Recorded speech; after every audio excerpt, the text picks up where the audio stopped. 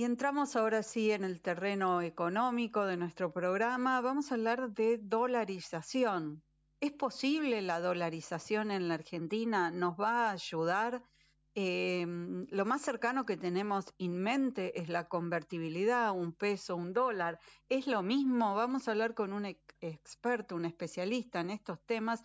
Está con nosotros Gustavo Nefa, que es titular de la consultora Research for Traders. ¿Qué tal, Gustavo? Un gusto saludarte y tenerte aquí en el programa. Soy Laura Sverdlik. ¿Cómo estás? ¿Cómo estás, Laura? Bien, por suerte, gracias. ¿eh? Y acá nosotros un poco preocupados, ¿no? Con todo lo que está pasando, con la situación de la economía y en tal sentido quería tener tu opinión respecto de la dolarización. Este, ¿Lo ves como posible, factible, beneficioso? A ver, Primero, eh, así como estamos, no vamos a ningún lado, o sabemos hacia dónde vamos, en realidad, es al revés. Así como eh, estamos ahora. Así como estamos ahora, esto va a camino a la inflación. Eh, si seguimos haciendo las cosas de la manera en que estamos haciendo y tenemos un ministro de Economía más preocupado por que lo elijan de presidente, aumentando el gasto peligrosamente en un contexto donde obviamente es el, germen de futura inflación, que es el, karma de la economía argentina y que obviamente nos trae esta espiral devaluatoria, inflacionaria, que tanto daño nos, hace, nos ha hecho en los últimos cuatro años. Eh, la tasa de inflación del gobierno de Alberto Fernández está llegando al 650% entre puntas. Eh, algo hay que hacer porque esto ya lo hemos visto en la economía argentina y es peligrosísimo. Ahora, eh, ahí se, se abren, digamos, distintas alternativas pero en todas las alternativas que uno elija para hacer algo, tiene que haber un plan de estabilización con un shock, obviamente, en materia monetaria que va a tener secuelas en la actividad económica, sí o sí, esto es eh, de manual, pero por otro lado intenta eh, controlar el tema de la, inflación y sobre todo de la devaluación. Eh, cortarlo de raíz es el plan de dolarización eh, de Ocampo, que bueno ha sabido tomar sus premisas eh, Milei en su plataforma y lo ha invitado a ser asesor y, es asesor actualmente de Milei, que es posible candidato a, Banco Central, todo el mundo lo sabe, eh, al presidente del Banco Central, de un Central que, había disminuido de la función básica, que es emitir dinero, fijar la tasa de interés, etcétera, etcétera. Eh, ¿Es posible dolarizar? Eh, sí, con dólares. ¿Hay dólares en Argentina? No. Por lo cual, en forma inmediata, eh, el proceso de dolarización debería llevar un tiempo no solo de, evaluación, sino sobre todo de armado de estructura, le hace un fideicomiso, que pueda llevar adelante ese proceso eh, teniendo o consiguiendo los dólares con avales o con garantías. Ajá. Eh, o sea que este, no podemos pensar en una dolarización inmediata, es decir, el 11 de diciembre. Eh, no, no, no, eh, descartemos eso. Eh, lo que sí podría haber a partir de diciembre es liberar los tipos de cambio, es decir, la unificación de los tipos de cambio, que podría hacer saltar obviamente el tipo de cambio oficial a valores muy altos y dejarlo flotar, dejar que el mercado consiga ese punto de equilibrio que obviamente está restringido por múltiples eh, razones, y en un contexto donde hay un cepo cambiario muy peligroso, porque al no haber reservas en el Banco Central, de hecho son negativas, eh, el valor de algo que es escaso es infinito cuando tiende a cero, eh, ni hablar cuando es, negativo.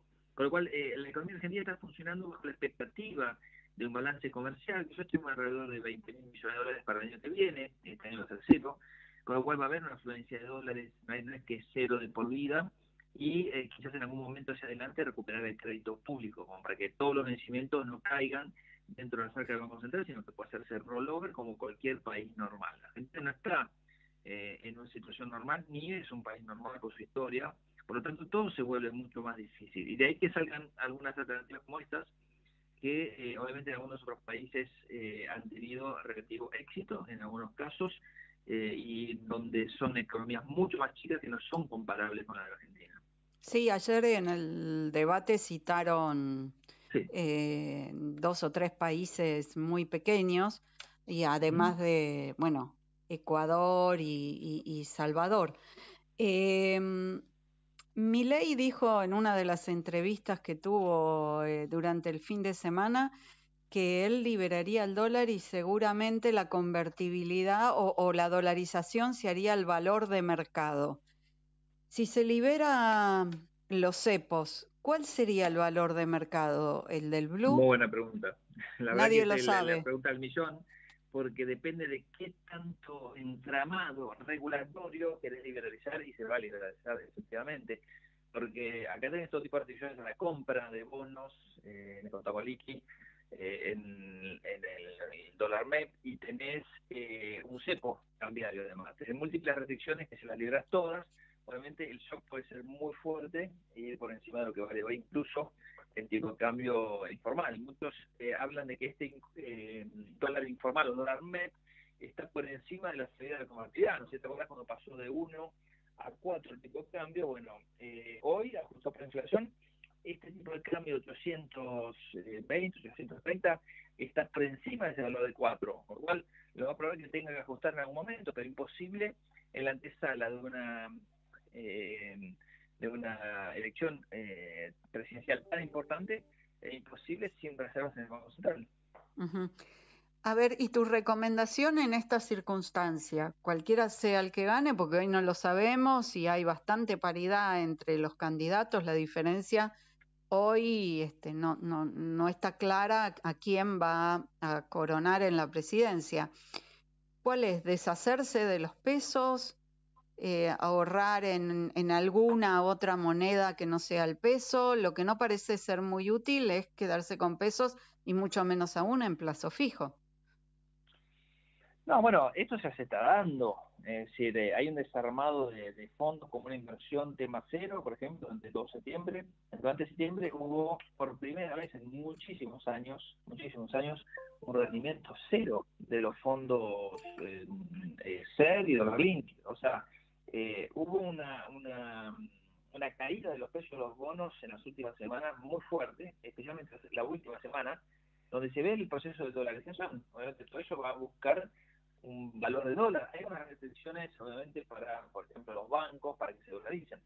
No pueden dolarizar más del, si me recuerdo, 5% de eh, la responsabilidad patrimonial computable, pero el resto de los eh, actores sí. Y esto es eh, ir a buscar el dólar el mercado de dólar MEP o dólar con y posicionarse ahí esperando las elecciones.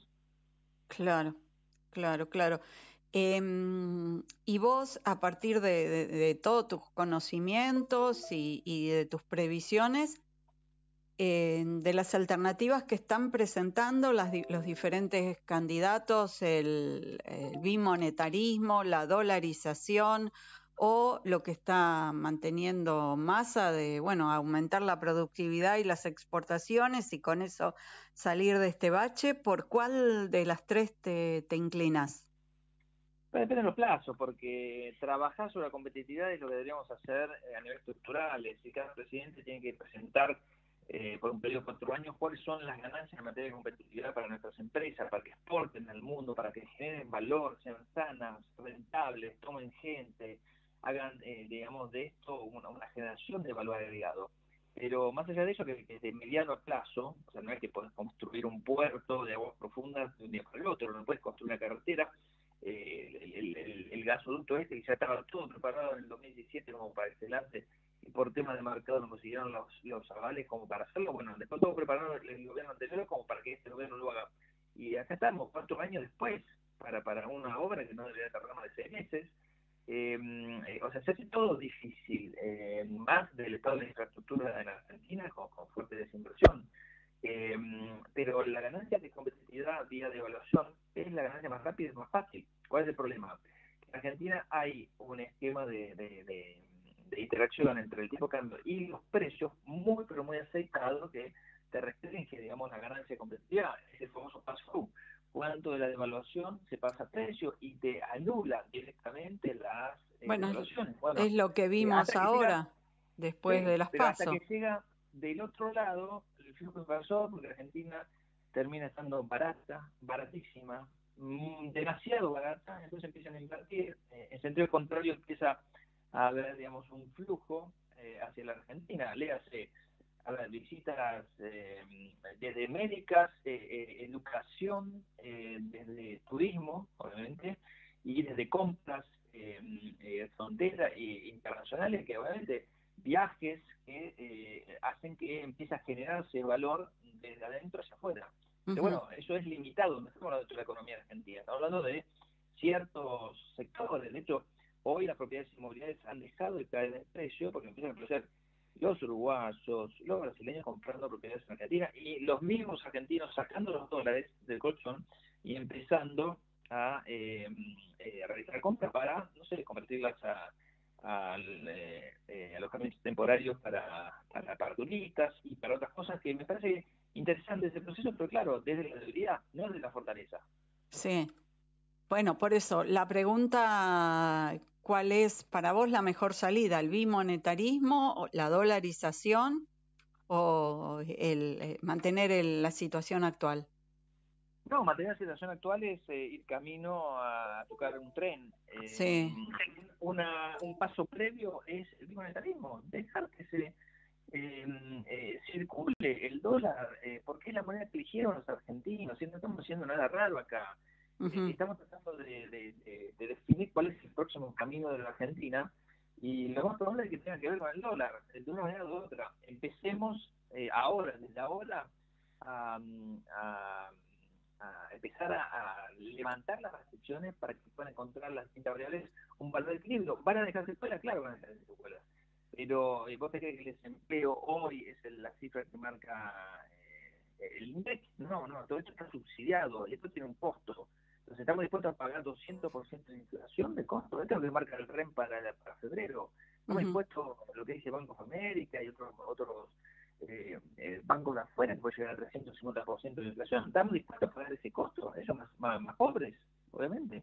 Eh, de un lado o del otro no se tiene ninguna solución fácil. Pero si querés golpe de raíz, vos tenés que hacer primero bimonetarismo, pero ya el, el, argentino lo decidió. El bimonetarismo es dejar que las cuentas, digamos, eh, fluyan libremente en dólares, que se puedan pagar en dólares eh, los sueldos, que, que, puedan pagarse las cosas en dólares, se fijen los precios en dólares, así es un patrón por lo menos de referencia. Y después ese tipo de cambio detrás, que busca su equilibrio, ese es el paso previo, sería casi incondicional a un proceso de dolarización. Ok, ok. Bueno, Gustavo, muchísimas gracias por habernos aclarado esta situación.